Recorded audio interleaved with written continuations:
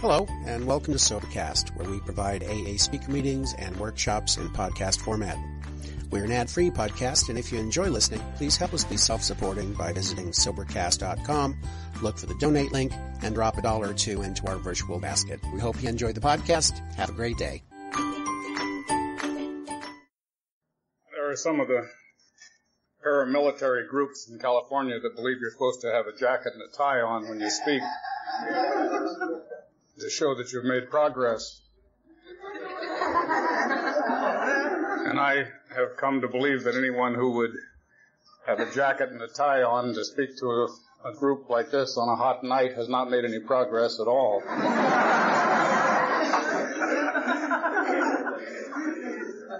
My name is Don, an alcoholic.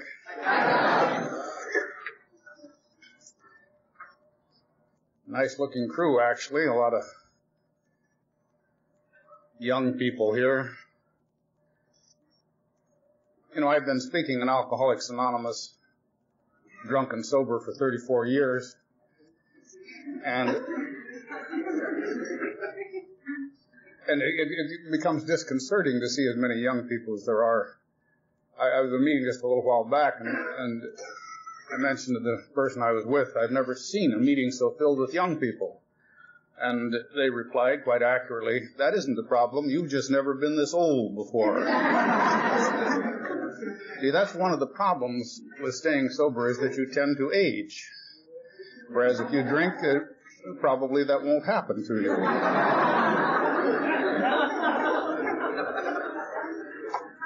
but it does have certain disadvantages. I was identified as the speaker there, and one of the young women at the next table back there, I, I heard her say, what's that old goat possibly going to say to help us? You know, a fast bicycle ride and a love affair would kill him. and that's not really true. I go pretty good on a bicycle.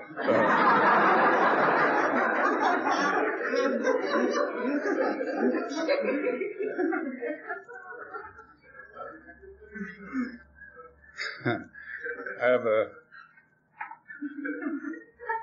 a gay guy I know in Hollywood was telling me the other day about how he said he had always been attracted to older men until one day he looked around and found there weren't any anymore. You know, and I didn't quite identify with that, but I, I did identify with the basic problem because I remember not too long back speaking out at some place called the Nest in the San Fernando Valley. To those of you who don't know it, if that's that's the sort of a place where if you still want to associate with lower companions and stay sober, you can go to that club. And I happened to be, I was speaking out there and got onto a spiritual flight and soared about the room. And when I settled, they, they came forward to touch the hem of my garment for individual healing. except for one young maiden who hung back. And I could tell, it seemed, that she was in need of personal healing. Perhaps even the laying on of hands.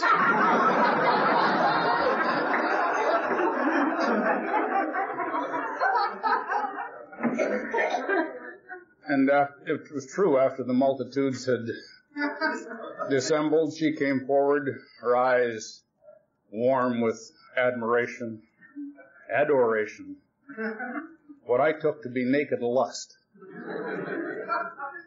And she spake unto me, saying, That was so beautiful, and you remind me so much of my grandfather.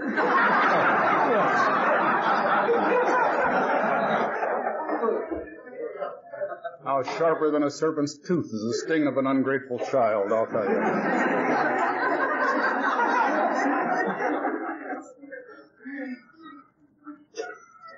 I had dinner there with Tom, and he was talking about you had some speaker from California out here a while back who was laying down the law according to whatever group it was that he belongs to who we have groups out there that are kind of AA and beyond, you know, beyond almost anything. And, and you have to be tolerant of these things. The, you see, AA has been around now for over half a century. And as a result of it, we have built up all sorts of nonsensical liturgical expressions and rules that don't make any sense, but they're part of our program now. Mean, if you think we have silly things we say, you should go to the Catholic Church, see some of the things they say. You know, but any spiritual movement develops a certain amount of foolishness after a period of time, and we have ours. Know, speakers get up and say, it's good to see people coming into AA who still have some semblance of order in their lives. When AA started, it was nothing but derelicts and bums. If you had a wristwatch, you couldn't come to a meeting. Well, that's silly. I mean, AA was started by a stockbroker who carried the message to a practicing doctor, and the two of them made their first 12-step call on a lawyer. And, ex- you know, and except for that third guy, it really wasn't a bad trio.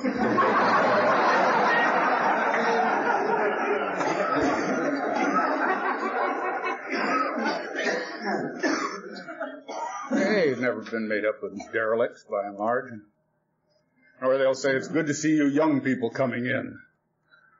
When I came to AA, if you were more than two years younger than a tree, you weren't eligible for membership. Which again is silly. I mean, Bill was in his 30s and he wrote the book. The oldest members in LA, Cliff, Sybil, the rest of them have been sober 40 years or more. They were in their late 20s. I was in my 20s. Doesn't hard to believe now, but you know, it's a, in fact, if you start drinking and cross over the invisible line, as most of us do in our teens, hell, you're not going to live long enough to be ineligible for a young people's meeting. Particularly with all the better living through chemistry that's available today. But these things don't do any harm. They're just things we say. It's like you probably heard it said, uh, do not become emotionally involved in the first year. Now, whether that's a valid observation and bit of advice, no one knows because in the history of AA, no newcomer's ever taken it.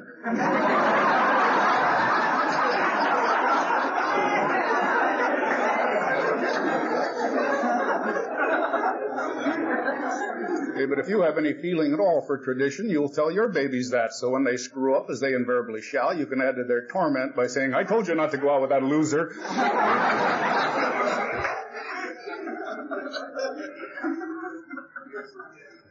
but these things don't do any harm. It, it, again, if people want to be, I was speaking in a meeting with, well, we're a lot of young people, and, uh, people there, and I, I actually heard somebody say, I spilled more than you drank. And I thought, good. I, in fact, I used it in my talk. I said, the only person who could say that with any degree of accuracy is the captain of that Exxon tanker up in Alaska.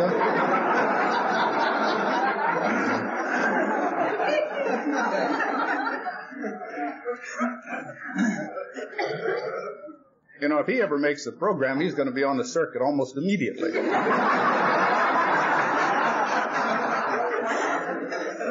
If you have anything going for you that causes you to be distinguishable in a crowd or as a result of something you have done, you're going to be asked to speak. Now, if your collar's turned the wrong way or if you've got several degrees behind your name, you're, you know, or a motion picture person. God, I remember when I was doing the public relations work there in Los Angeles some 20, 30 years ago, however long it was. I used to get calls and people would say, we're having a eighth Kentucky annual convention, do you have any motion picture stars that could come out and be our banquet speaker? Now, they didn't ask if the person was sober or had a message of any kind. They just wanted a motion picture star. And I used to tell them, well, I don't know. I'll check the sanitariums to see who might be out in time. Hell, I once spoke at a meeting where the guy was had just been released from San Quentin. He'd killed two people, you know, and through pardoning of the death penalty and so on, he was out free, and they put him up on the podium. Great story. now you're reading my mail, Jim. Uh, but no, that's true. And so if that guy from the Exxon tanker, you can imagine how quickly he'd be on the podium. He'd probably give a good talk too, you know. I used to run a tight ship. Old Exxon cocktail, 10 million gallons on the rocks. and then I ruined all of Alaska. Oh, go, Fred, go, go. Uh, see, we have a rare form of public speaking here. Uh, you, you, know, you can get up and begin an address by saying, I've been crazy all week, and everybody, oh! Tell it like it is. You're reading my mail. Uh, you can't start an address with that line in very few places and, you know, and get a response like that. Uh, I don't know. Tom was also worried apparently because he was running into people who were giving analytical explanations of what they were doing in their sobriety. You know, they were on some kind of a probe or they were doing this or that or whatever it was. And I was trying to assure him that this is a natural phenomenon when you're new. You know, we seem to find it impossible to simply accept anything unless we have somehow wrapped an emotional superstructure around it. You know, we did that. I, I took A and summarized it into a little intellectual pill that I could give to a newcomer and telling him to swallow it and lay back and pass a miracle. And, uh, they won't do it.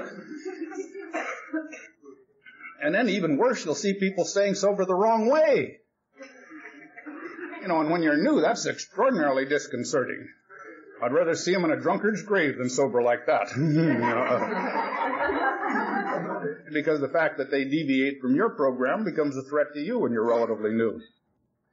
But after you've been sober quite a while, AA becomes simpler and simpler. I wish you really, it's a shame. I know this taping goes on here. No place I haven't been able to find a virgin audience in years now, but, uh, if you could get some of the tapes I gave before my last slip, God, they were inspirational.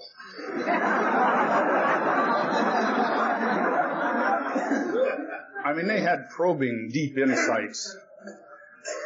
I discussed the history of AA, its indebtedness to the Oxford movement, William James. I touched upon their Jungian Freudian overtones. I, there, there, was really something there for everybody. It, it, was a damn shame I couldn't stop drinking.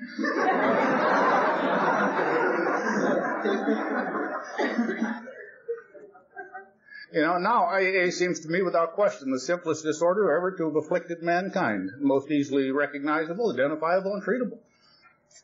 You know, the very name, alcoholism, gives you such a marked clue as to what the problem is.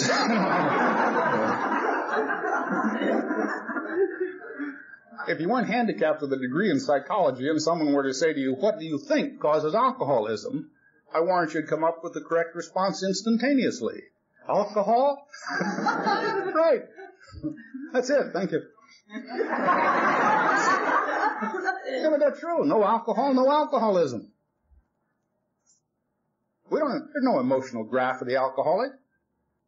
We don't experience any emotions non-alcoholics don't experience. Alcohol never been invented. There wouldn't be anybody that you'd call an alcoholic. Because we come under every hue in the emotional spectrum. The book says that we come, we come, some are total psychotics, psychopathic inferiors, sociopaths, neurotics in every hue on the emotional spectrum. And then those people who are well-adjusted, normal, happy people, beloved in every respect except the effect alcohol has on them. I've never met any of those people. but sobering up in Los Angeles, you wouldn't be apt to. Chances are they were around Akron or Cleveland someplace when they were writing the book, or maybe Newark, uh, whoever it was. But no, but we don't have any different emotions than other people. One person, ten drinks, going to become an alcoholic. No reason a psychotic should get off any easier than the rest of us. But you don't have to be crazy to make this program. No hindrance if you are, but not mandatory. You know, we haven't, we had just barely 10 people walk on the face of the moon. One of them's already in AA. they don't fire those guys off unless they check them out and they're wired pretty well. I don't know if you ever heard him pitch, but he talks about, you know, how he stepped off on the moon, looked back at the blue and white globe we call the Earth and said, I'm 83,000 miles from the next drink.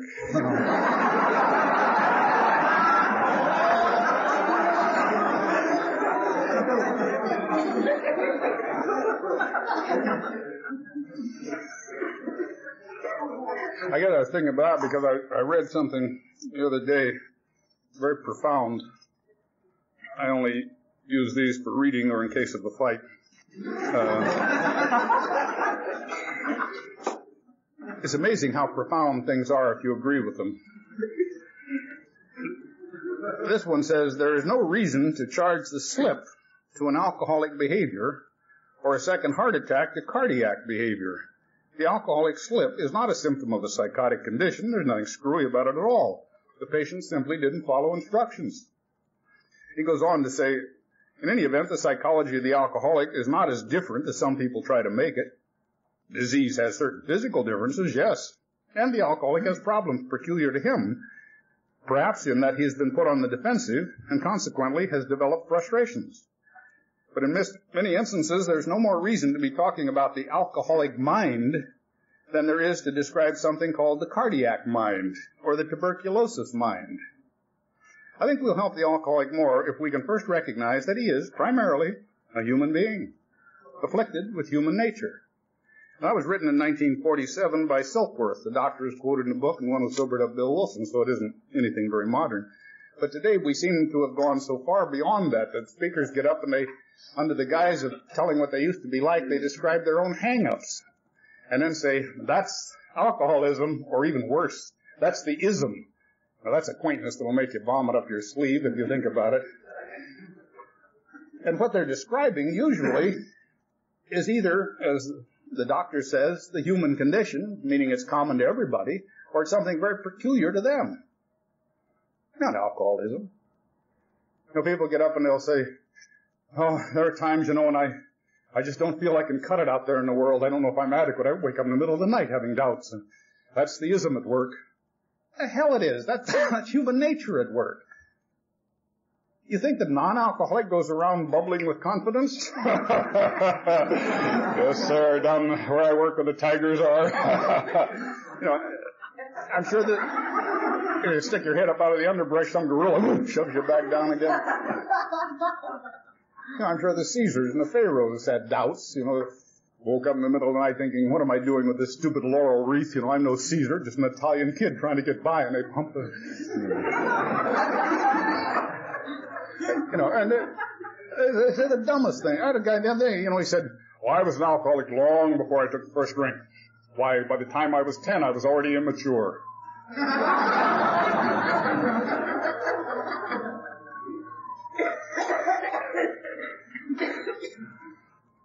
because I don't, or people say, we're not bad people trying to be good, we're sick people trying to be well.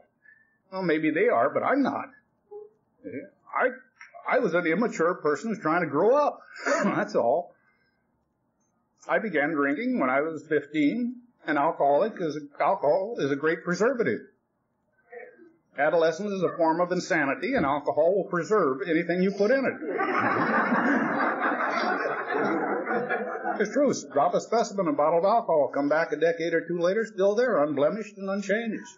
Put alcohol into an adolescent, come by 10, 20 years later, still there. oh, I don't mean he hasn't aged. I mean, your hair grays, your face wrinkles, you may be educated beyond your intelligence, but but emotionally, you're still going to be that adolescent. Oh, Look at me, see me. Nothing mysterious about it. The ones who, of course, have come on with their specific problems, they're even worse. I had a guy, remember, I came around of the early meetings where the guy used to look out over the audience and say, if you want this program, you're going to have to admit you're a thief, because all alcoholics are thieves. That disturbed me because I, I didn't steal tangible things. Maybe I wasn't in need or maybe I was too frightened. I don't know, but I didn't steal tangible things. I only stole things that were worthwhile. Your time, your affection, your love, your appreciation, your consent. Thing I wasn't going to give back to you. But I mean, I didn't steal things that were physical. And then I got thinking about that. I thought, this guy doesn't know all alcoholics. Even if he's social and has a wide acquaintanceship, he probably doesn't know more than a few hundred. So what he says about all alcoholics tells you nothing about all alcoholics. But you learn something very important about him. He's a thief.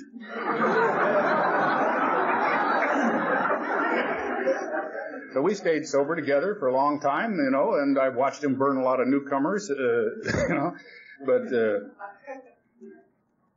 Oh, another guy was even more disconcerted. He used to actually point his finger out at the audience and say, if you want to make this program, the first thing you're going to have to do is admit you're a latent homosexual. Boy, this shook me. See, he was telling me I had to give up boys.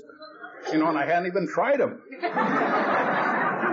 As far as I knew, they might be the answer because my wife was sure as hell not acting very appropriately. I'll tell you that.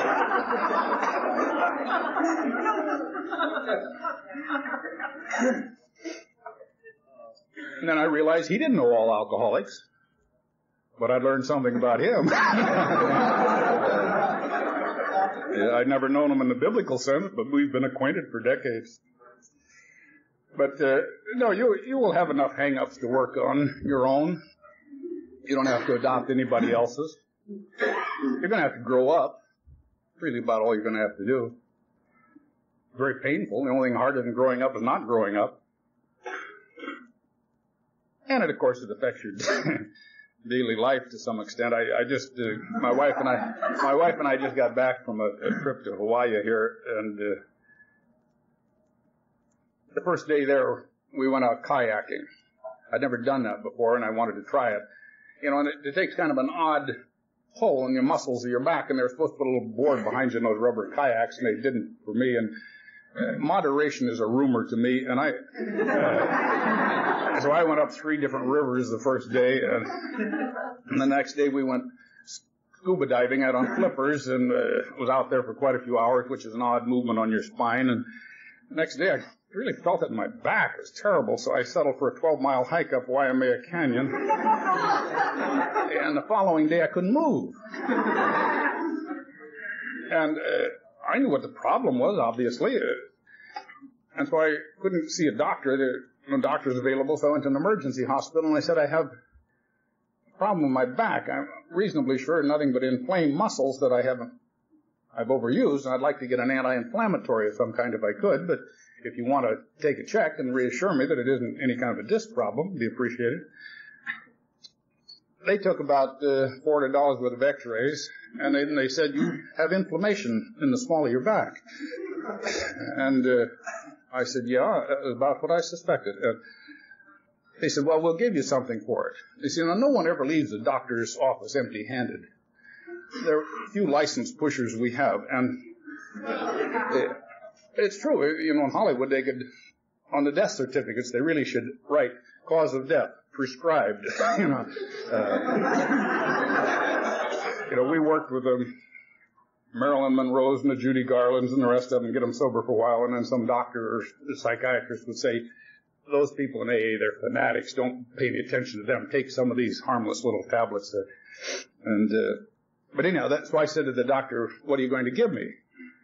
And she said, oh, no, nothing, just some anti-inflammatories, and then I'll give you some muscle relaxant and, and something for the pain.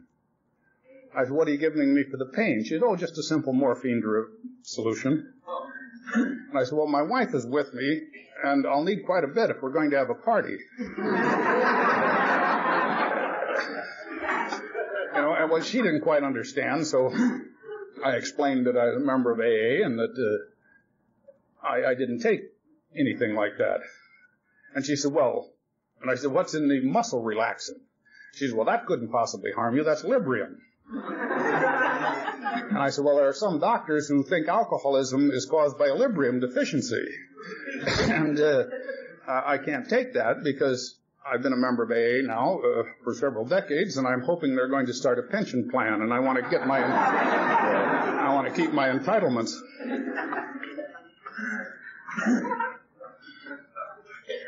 No, it, it does affect you. Yeah, but I'm not, by the way, against medication. If you're in a hospital or uh, or someplace where your, dosage is being controlled, uh, I'm all in favor of it, but not out on the street, at least not me. Christ, I, I should probably shouldn't talk about it. It's being taped, isn't it? Uh, uh, some years back, I decided I'd had enough children. Uh, had a whole bunch of them. I was just fun, and I don't know how it happened, but. Uh, I decided I'd had enough, so I went to a doctor for a, my wife and I, she drove me down to the doctor for a little snip job, and uh, they give you medication, and it, but hell, you, you have to give an awful lot of medication to knock out an alcoholic. I mean, they gave me sodium pentothal. I guess it was supposed to put me out. I don't know, but all it did was make me high. I remember lying there on the table and saying to the nurse, as long as you're down there, honey, how'd you like to make a lifelong friend?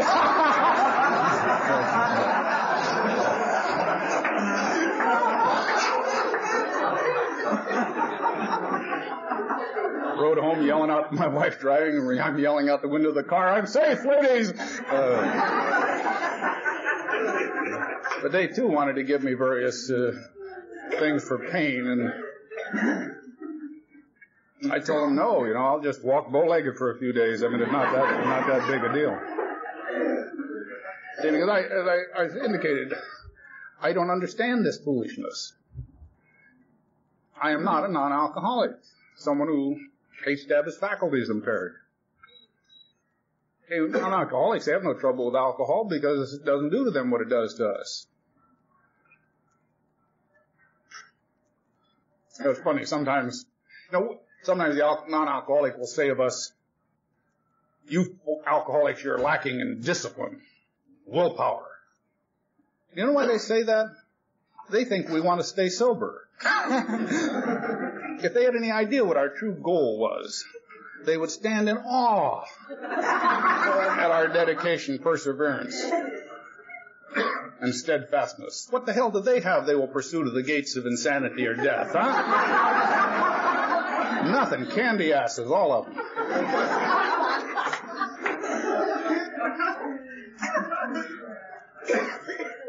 I'm probably there are some Al-Anons here, and I, I, don't mean to make fun of you by statements like that. Uh, you're not at fault. You seem to have been born that way.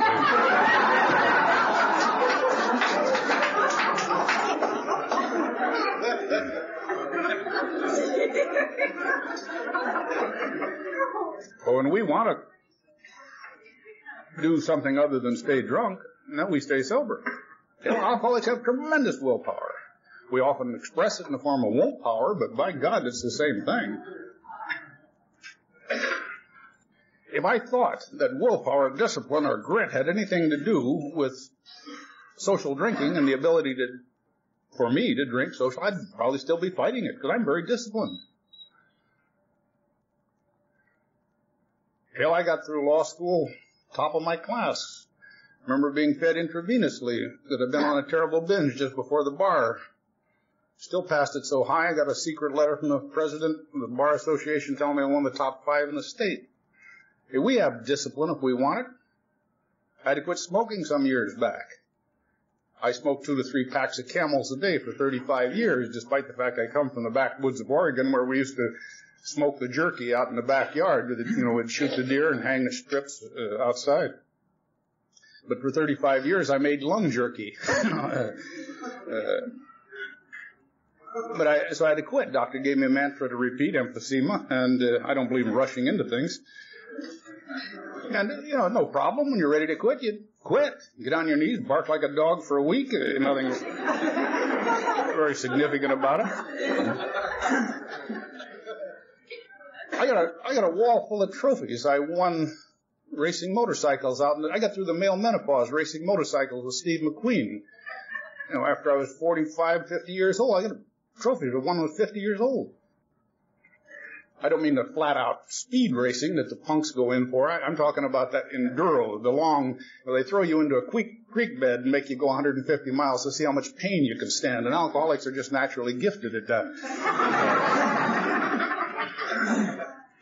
I could, I could hardly go half a block when I quit uh, at a fast shuffle, and they told me to get into running to help rehabilitate whatever was left of my lungs and my body. And I, you know, I say I could hardly go half a block, and I celebrated my 60th birthday not several years ago, uh, running the Los Angeles Marathon, 26 miles. And, and the odd thing is that despite the damage I did to my lungs in every race I've been in, 10Ks, half marathons, marathons, I, I won. I don't mean I came in first. I have no idea what the fanatics up in the front are doing. but back in the rear where the spiritual ones gather.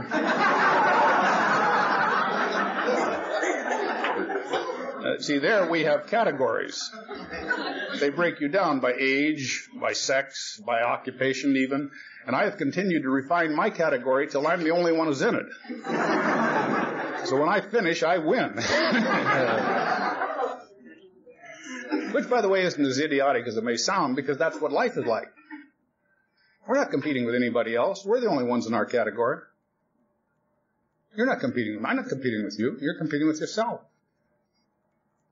You play the game, you bear the pain, you finish, you're a winner. Quit, go out and get drunk, you're a loser. Simple. But uh, I don't know. I, as I say, I don't think odd about alcoholism. It's so simple. I don't know anything about the transcendental medication the kids have today. There's no such thing as a pure alcoholic. I'm sure under age 30, probably under age 40, maybe even 50. I don't know. But half the stuff that's available today wasn't even invented when I quit, and uh, what, what it was wasn't offered my milieu anyhow.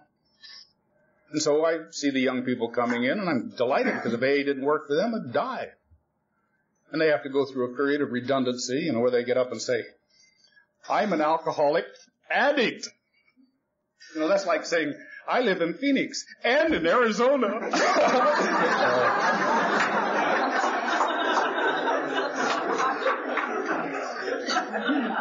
you know, of course, if you're an alcoholic, you're an addict. What the hell do you think alcohol is? There may be addicts who aren't alcoholics. I don't know. But every alcoholic, by definition, an addict. And half the old timers who are mad about it are sitting there smoking cigarettes as if nicotine was a vitamin. You know. I don't, I don't like to hear about that addict.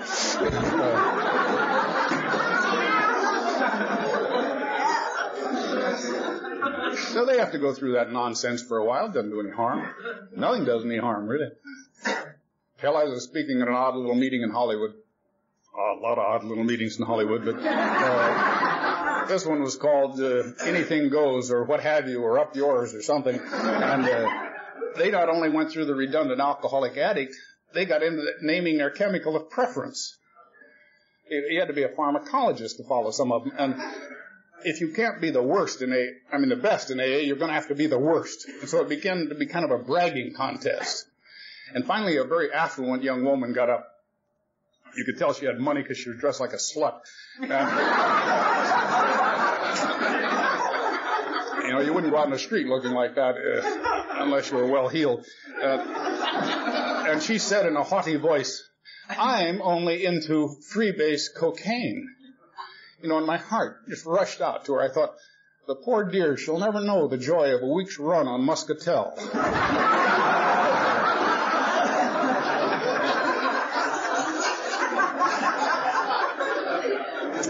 such specialization, like a koala bear. They run out of eucalyptus, they're screwed, you know.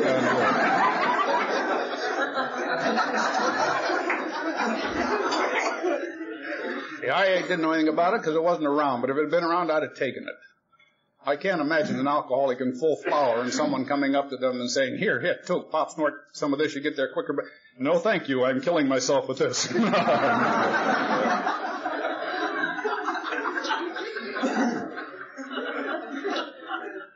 But alcoholism is so simple and the cure is so simple. Occasionally you'll see a hand raised at a question and answer meeting by some shaky newcomer who says, how do you really stop drinking? You know, as if there was some magic to it.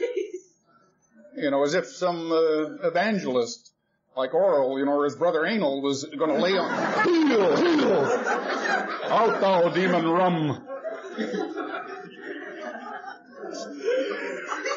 You know, or as if some fairy was going to touch you with a magic wand.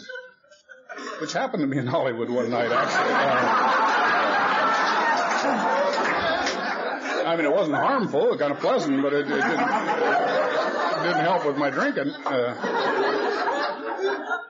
no, but I mean, if you can control the movement of your elbow, eternal sobriety is yours to command. I mean, there may be some who come around who's so far gone their arms spastic like reaches out and hurls things toward their face. Ah! but if you can fend it off, you'll stay sober. It is astonishing how long you can stay sober if you don't drink.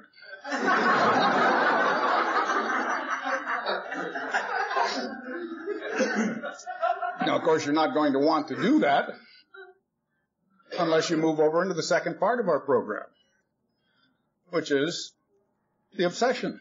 Nothing to do with mental illness, the obsession. That somehow, someday we're going to beat this thing. We have a physical allergy that's permanent. Like any other allergy. You can't tell whether we're allergic anymore than you can tell if anybody else is allergic to something till you put it in their body. You can't tell if a person's allergic to tomatoes unless you give them some, or give them a scratch and then they break out in a rash, break out in spots. Same way with me when I was drinking. Couldn't tell I'm an alcoholic until you gave me some, and then I broke out in spots. You know, San Francisco, Tijuana, Las Vegas. but the thing is, we're not going to want to quit drinking until we do something about that obsession, until we get in that state of sweet reasonableness known only to the dying, that seems to be a prerequisite to the idea you might be wrong. Because we're not going to change overnight. Most of us wouldn't cross the street if we thought it'd make us feel better. Know, we're just like the non-alcoholic. I can stand here and hurt just as long as you can. Some bitch gonna do it my way. Going down, I'm gonna hurt her. I never met a newcomer who was looking for happiness or contentment, looking for cause for complaint, justification, explanation for failure, by God. But it, our program is nothing unique about it. It's a distillation of every discipline that I've ever read about. I've never read a religion, a philosophical discourse, advice from the elders of the village that didn't all recommend exactly the same thing for your daily life. Forget the dogma, the superstructure that we seem to find it necessary to coat our religions and therapeutic discourses with, but just look at what they talk about as a way to live. Honesty, it's a hallmark of ours. Honesty is not unique to AA truth will set you free is a message goes back quite a ways. Down in Chino Prison in uh, L.A. County, there, there's a over scroll work over one of the entrances says the truth shall set ye free. Whenever I've spoken there, I've mentioned that doesn't mean instantly; it means ultimately. you know, uh, the idea that you take inventory, that you make confession, couldn't come as a shock, I wouldn't think, to the Catholic Church. There's nothing new about AA. It, it's simply that we have to do it. The non-alcoholic doesn't. Nothing ever happens to the non-alcoholic when he clings to those dubious luxuries, as our book characterizes them, of resentment and self-pity and getting even and paying back, looking out for number one. and they're like that. All they do is get lockjaw ulcers, ruin their lives, but nothing serious occurs. No one has ever been arrested for driving while pissed off. You don't get picked up for being a mope, whining and disorderly. Common mope, you. Uh, so we have to do something about it. We're forced to live a happy life. But I don't, it can be endured, newcomer. You can get used to joy even. Even contentment can be endured.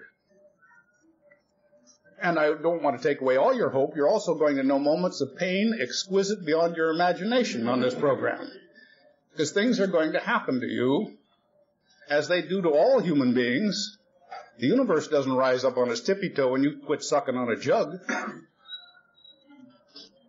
You're going to be rejected, abandoned, unappreciated, not having enough of anything.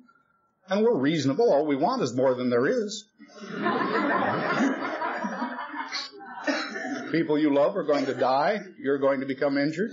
All the things that flesh or heir to are going to happen to you sober. Why shouldn't they? No two-legged beast ever got out of the forest without those things. Why should we be spared? In fact, you know, talking about uh, giving funny stories, and we laugh at the horrible things we did, and they are funny now because they're in retrospect. We're not doing them anymore, and they're in a distance.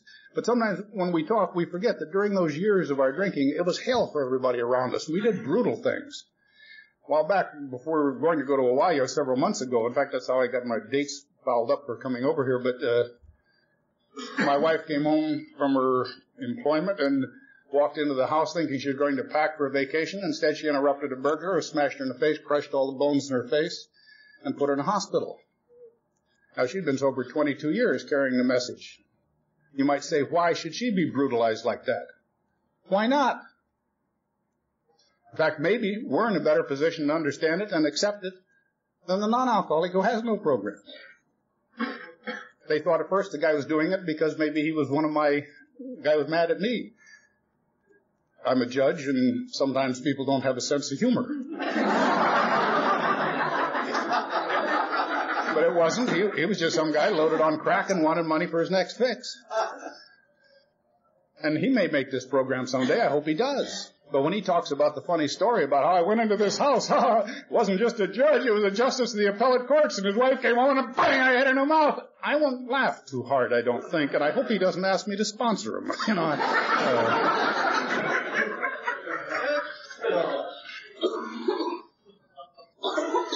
so life is going to have its tragedies,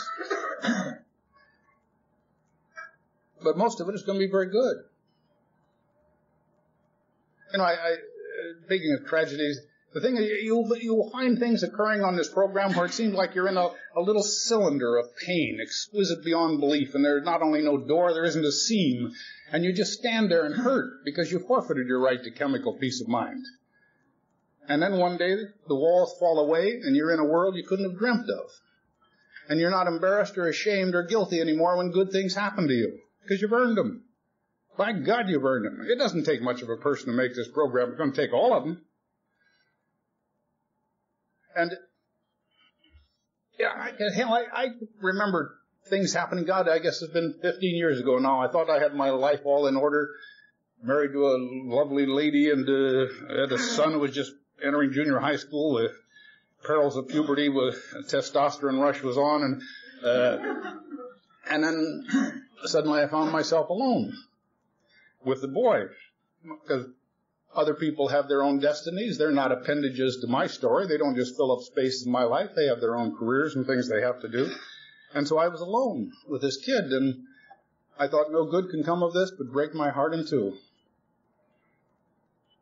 And, uh, yeah, we endured. I'd like to tell you as a result of my wonderful program, I was able to talk to this boy one to one. But any man who says he talks to his pubescent son one to one lies about other things too. you know, of course you don't talk to an adolescent one to one. They have no speech. You know, they're going through the agonies of the damned. It's the worst period in your life. And yet they're utterly mute virtually. I mean, my boys, they built like Greek gods. They get a pimple. Ah, their life is ruined, you know. The girls were even worse. They'd come home in tears and I'd say, what happened? That boy. What boy? What did he do? He looked at me. What do you mean he looked at you? How did he look at you? Funny. What do you mean funny? Funny aggressive, funny hostile, funny lewd? What kind of funny? Funny, funny. you know. They have no mosaic against which to set their life's experiences and they have no command of the English language. They go into their room, they have primordial grunts that they amplify and call it music. Uh,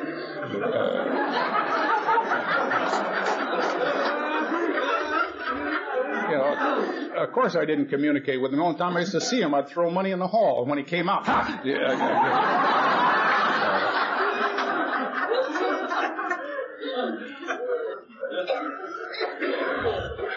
but we endured, and he's 24, 5 or so now. He graduated from college, on his own, doing okay. And after a couple of years of batching or so, a young lady that I mentioned here earlier, uh, came into my life and moved into our home where angels might have feared to tread. And we've been married about 10 years now. I don't, I mean, she's got 22 years sobriety, as I mentioned. I don't monkey with newcomers, but, uh, she came on the program so young. Absolutely. She seemed like a child to me. I don't mean immature child. Else she went back to law school recently and completed it and passed the California bar just so she could criticize my decisions.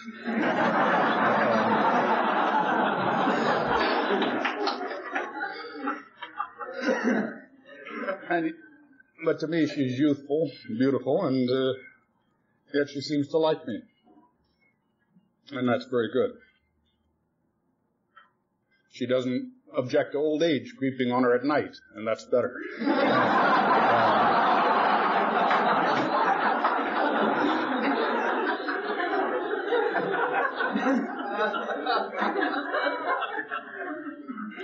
and my work too, you know, it, it seemed to go all to hell in and about that same period. And, and work is very important to most of us, and certainly those who grew up in the 30s. And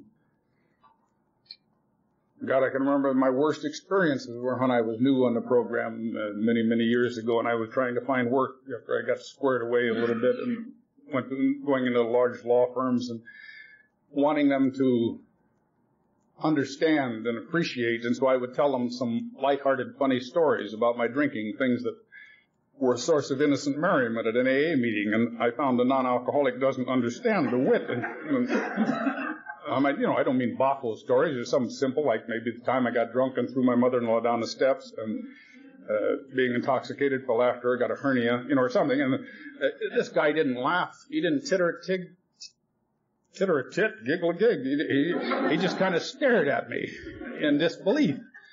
And I thought, I guess I'm being too subtle for him.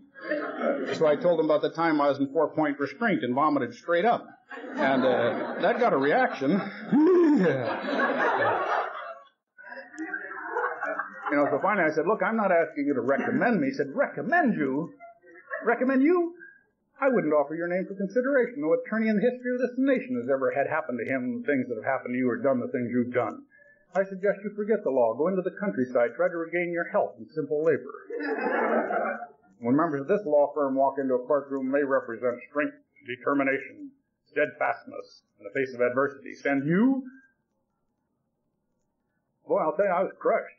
I wasn't ready for that. If I could have slithered across the floor like a serpent under the door to the nearest bar to drown the shame of that, that bottomless bottle like I always had, I'd have done it. But I thought if I do, he'll be right. I can't take it, and I won't give him the satisfaction. I went out and drank coffee at him. About ten years later, that guy flipped out. Took a check protector and a secretary, ran to Europe, disgraced his law firm, the legal profession, his family, the city of Pasadena. One of the worst pyrotechnic displays of misconduct I've ever seen, and he did it cold sober. Whereas about uh, eight or nine years ago, the governor of our state called me and told me he was appointing me to the appellate bench. As far as I know, the highest judicial office ever held by a sober alcoholic, at least in the state of California. You know what happens now? If I enter a courtroom and the members of that law firm are there, they stand up and they remain standing until I tell them they can be seated.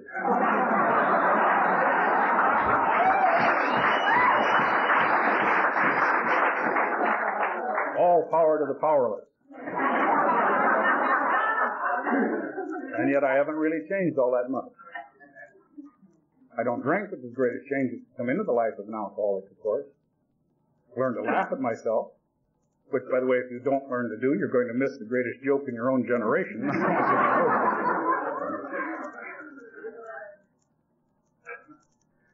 and uh, I sometimes sit on our Supreme Court seven of us in our black robes. Six deadly serious outside and apparently inwardly. One serious on the outside and inwardly. God damn, will you look at this?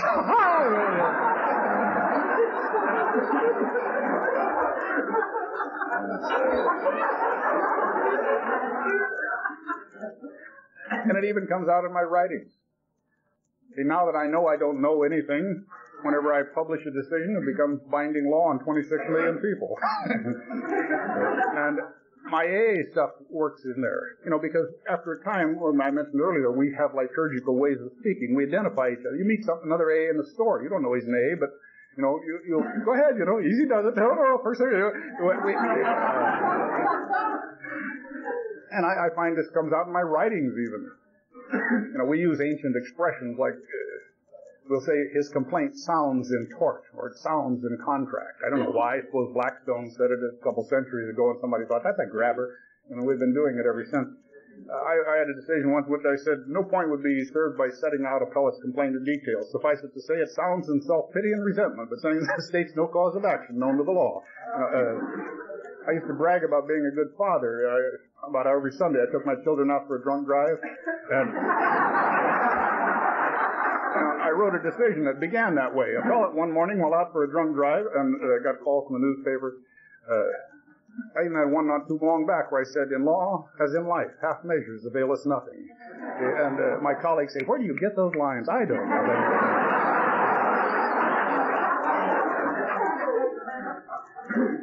but this is what AA is about. It is about living. Not about death, it's about living. For the first time, if you are an alcoholic, you're going to be free. Up until now, you've been a slave. Booze told you what to do. Now you're going to be free. Do anything you want. wild, exciting out there. You find this universe and the world dull, it's because you're a dull son of a bitch. Because it's, ex- it's one exciting universe.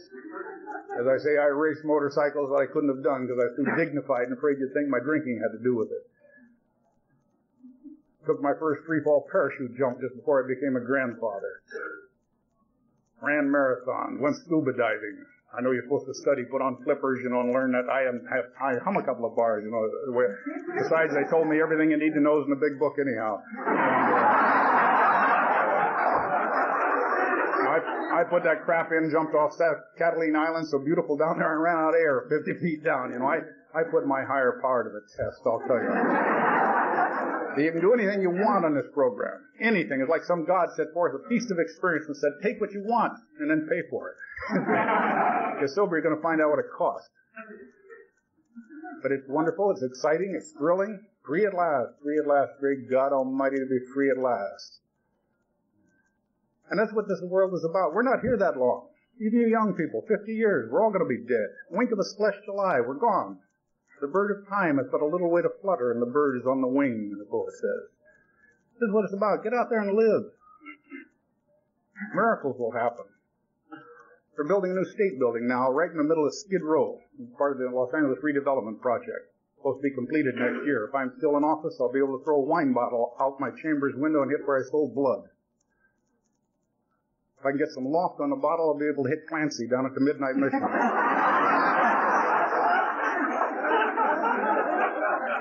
if such a prospect isn't enough to keep you sober, I really don't know what it would take. Thank you.